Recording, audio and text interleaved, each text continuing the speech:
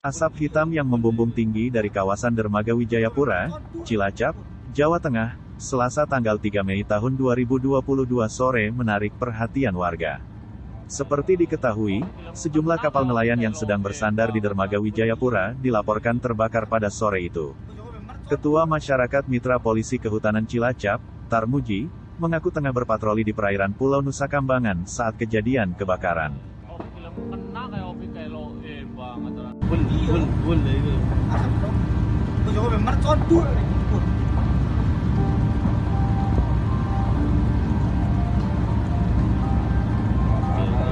Oh, film kena kayak Ovi kayak lo eh banget.